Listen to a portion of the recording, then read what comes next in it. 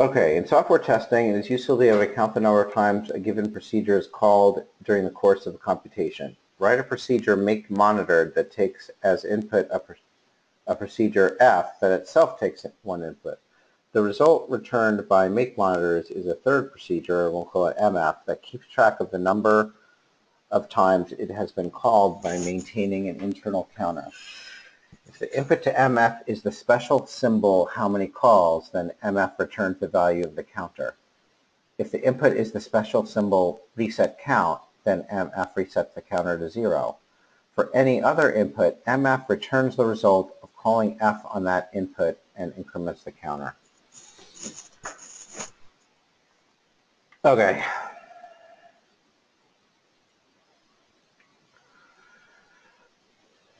Okay, so here's the make monitor. So make monitor is going to need to take as input a procedure F. So, sorry. Let's immediately recognize that.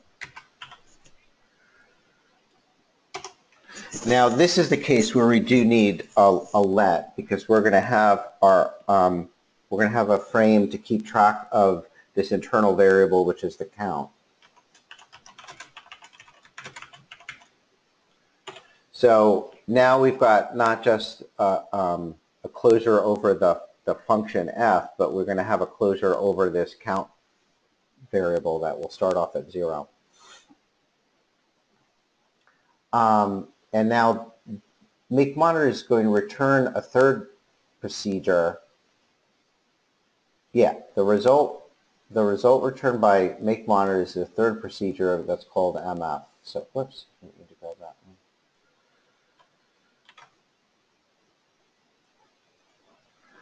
Um, so there's two, well, all right, like we could do this way. So we'll define this MF procedure, which takes a parameter, um, we'll call it Q. So the assumption here is that F is a procedure that accepts a number. So when we, we, when we pass something to MF, if it's not a number, then we sort of, we treat it as one of these special symbols. Um, all right, so there's going to be a cond here. Um, so if Q is equal to the symbol how many calls, then instead of calling F, we just return count. If Q is equal to the symbol reset count, then we just reset the counter. Yeah. So then we set bang count to zero. And we'll just say else here. Otherwise, we're going to call the function with q. So, um, and then we're going to, we also have to increment the counter. Yeah, I'm gonna, so if you read the, the text here, it says it returns the result of calling f on that input and increments the counter. I'm gonna do that in the other order because then the begin statement makes sense. So we're gonna increment the counter. Oops.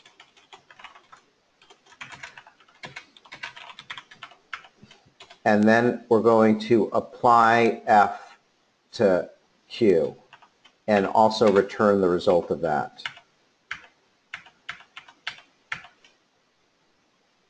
So we're not quite done because what we did was we defined this procedure called MF and then we actually have to return it. So this is the, the result. Instead of like defining MF and then returning it here, we could have just had it be unnamed and have this be like lambda of q and then have the and then we wouldn't need to explicitly return it because then the result of the let expression would be the lambda. But at this point we've defined it and we're returning it. I'm pretty sure this is right. Let's try it out. Okay, does square root exist? Yep.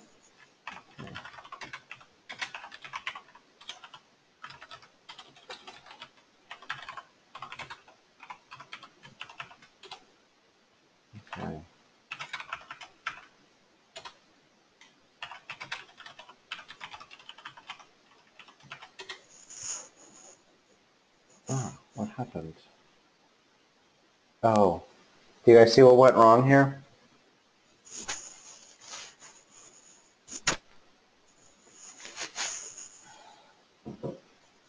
It's actually a good error.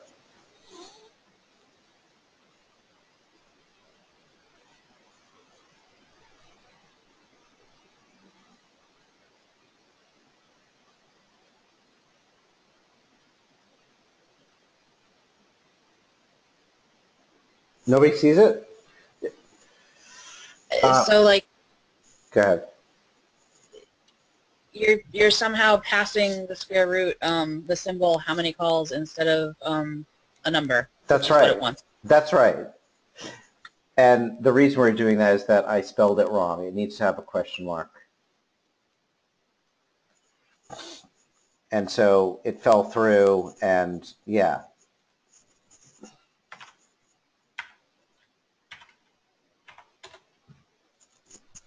Oh, and there's two calls because we incremented first, even though then we failed. I guess that was a call.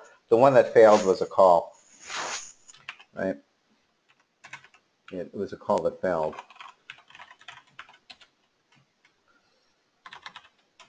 Yeah.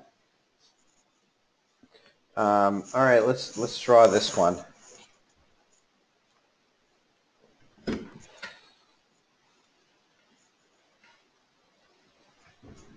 Okay. So um, there's going to be the global environment, and we're going to have something called make monitored.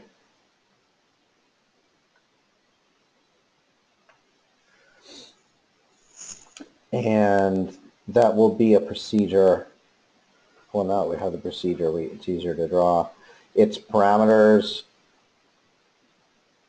It will take one parameter named f, and its body is this let expression. And its frame pointer goes back to the top level. Um, and then we had a thing called, uh, what do we call the, we called it S. All right, so let's see. So S was the result of make monitored of square root. So in order to evaluate that, we had to create a frame where the parameter F, excuse me, got bound to square root, which itself is like a procedure, right? This is not, this is a procedure square root. Um, and that that frame has its parent frame, the parent frame of, of the make monitor procedure. So it like also points up to there. And then in the context of this frame, the body got evaluated. So the let expression got evaluated. And that actually did stuff. So the let expression created another frame where count got bound to zero. That frame has as its parent pointer, oh, so this is sort of important. What's the parent pointer of this frame?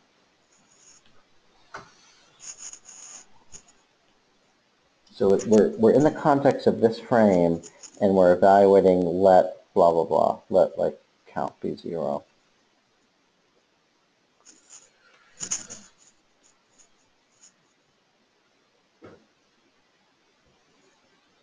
That'd be bound to S. Well, let's call this one frame one, and this is frame two, and this is frame three. So the question is, which is the parent frame of this frame that got created as a result of this evaluation?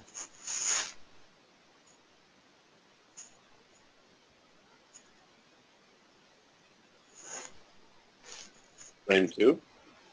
It is frame two. So the question is why? So here we have to recognize that let is really a lambda. So um, in the context of this frame, a new lambda got created. So why don't we actually draw that out? Because it got, it's actually like a two-step process before this frame got, before frame three got created, a lambda was created first, and then it was applied. So this let expression, we actually, when this leads into the rest of the, the whole problem set, this let expression, we should rewrite it as a lambda. It's lambda of count. And then the body of it is the body of the let, which is this defined, this is the entire body of um, the lambda. So we're going to say it's the thing that starts with define mf of q and then ends with returning mf. Um, that's the and and then so that so that actually runs.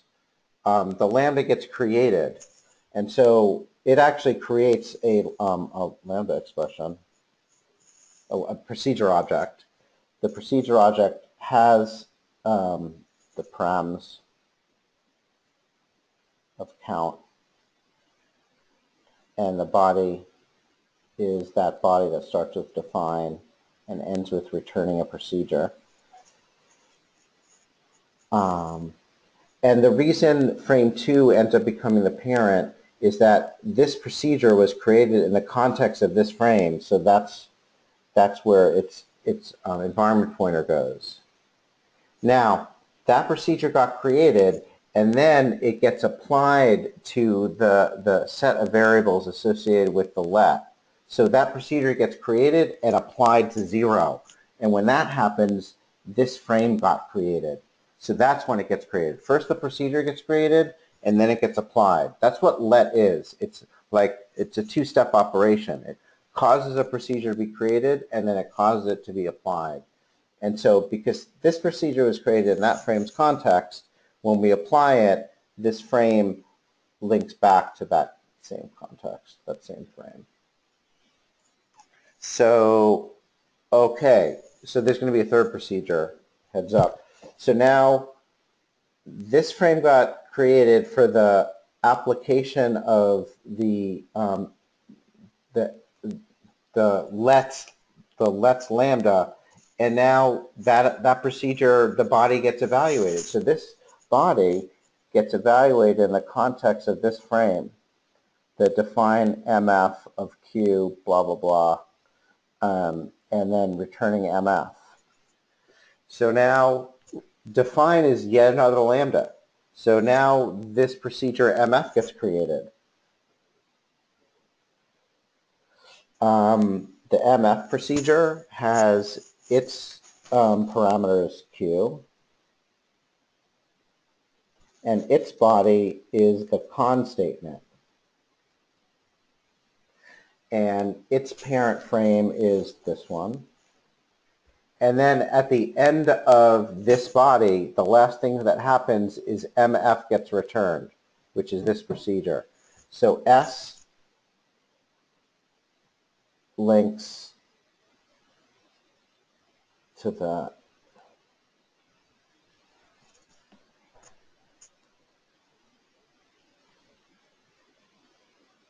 So my next question is, after all that happened, does this procedure still exist?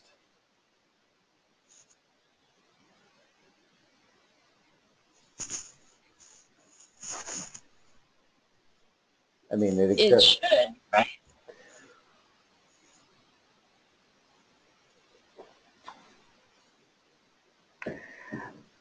I think not.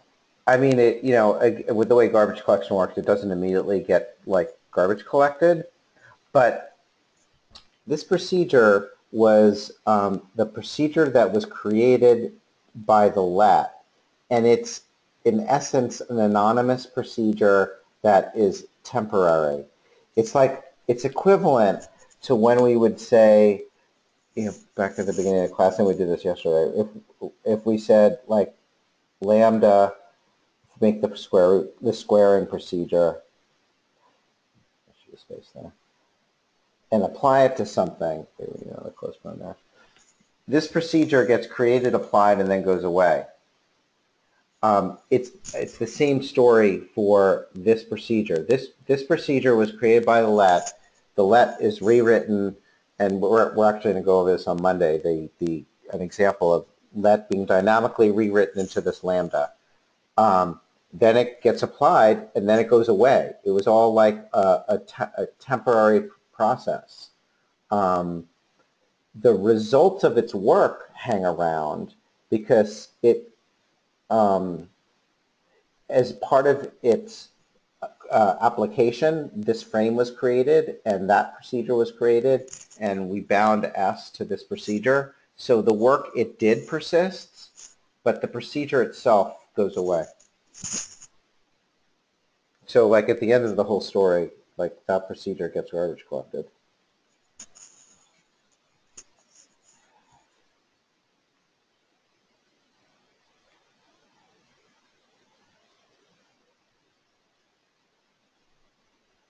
Sort of makes sense?